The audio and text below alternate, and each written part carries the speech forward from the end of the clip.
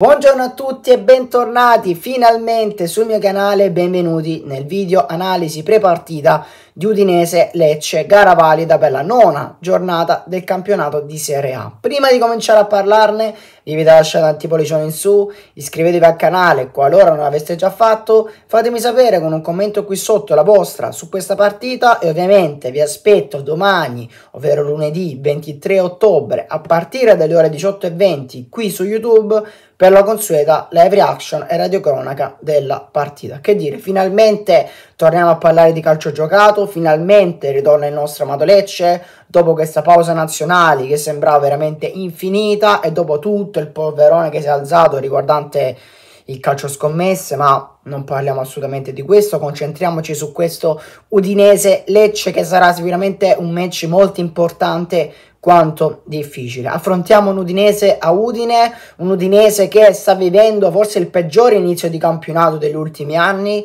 e quindi mi aspetto un Udinese che partirà aggressiva sin dal primo minuto. E quindi per questo de- dobbiamo essere abili a contenere i loro attacchi, controllare la partita ed attaccare e colpire gli avversari nel momento opportuno perché l'Udinese dall'altro non ha ancora vinto in questo campionato è al diciassettesimo posto a quota 5 punti. Quindi sicuramente vorranno fare dei punti importanti. Ma stessa cosa noi perché siamo momentaneamente al decimo posto a 12 punti e ovviamente eh, fare dei punti a Udine sarebbe davvero molto molto molto importante perché veniamo da due sconfitte contro Juventus e Napoli e poi il pareggio maturato in casa contro il Sassuolo un pareggio dolce amaro perché comunque avevamo rimontato e recuperato dopo lo svantaggio e dolce perché comunque la squadra c'è ha dimostrato veramente che può fare un bel campionato e quindi speriamo ovviamente di continuare su questa scia positiva, sperando ovviamente di tornare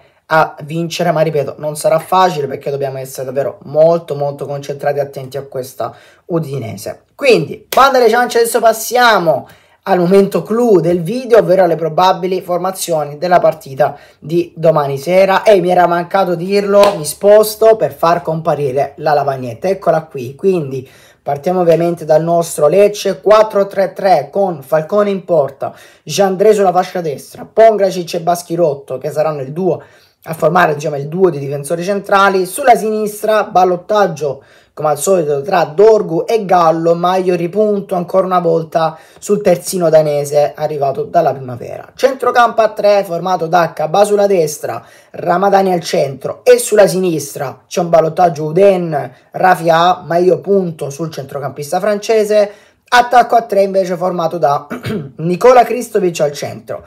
Pontus Alquist sulla fascia destra e sulla sinistra vediamo comparire finalmente il nome di Lamek Banda che si giocherà una maglia da titolare con Gabriel Strefezza sulla fascia sinistra. Bello rivedere l'attaccante zabbiano di nuovo in campo, ritorna dall'infortunio e quindi al 100% a disposizione del nostro caro mister D'Aversa. Secondo me è un 51% Strefezza, 49% Banda. Per me comincerà dal primo Strefezza per poi rivedere a partita in corso Banda. Dovesse essere il contrario, mi andrebbe bene comunque così perché Banda è mancato molto al gioco offensivo del nostro Lecce perché con la sua velocità creava sempre superiorità numerica, ma Banda come sempre ho detto manca quel qualcosina negli ultimi metri per concludere la, l'azione diciamo offensiva.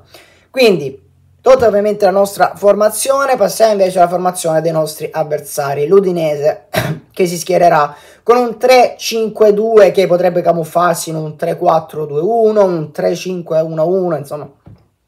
Vediamo, Silvestre in porta, difesa a 3 con Christensen, Buyol e Perez, Centrocampo a 5 con Pereira e Camara che saranno i due esterni di centrocampo. Centrocampisti centrali che saranno Lovric, Wallace e Samarzic, ovviamente un giocatore da tenere assolutamente d'occhio. Attacco a 2 formato da Tuven e Lucca, quindi queste le due formazioni. L'ultimo Udinese Lecce che si disputò, appunto fu l'anno scorso, terminò quella sfida con un risultato di 1 a 1. Che dire, vi ringrazio di cuore per aver visto questo video, forza Lecce sempre, vi aspetto domani nella radiocronaca della partita. Ancora buona giornata a tutti voi e buona domenica a voi alle nostre, e alle vostre famiglie. Ciao a tutti.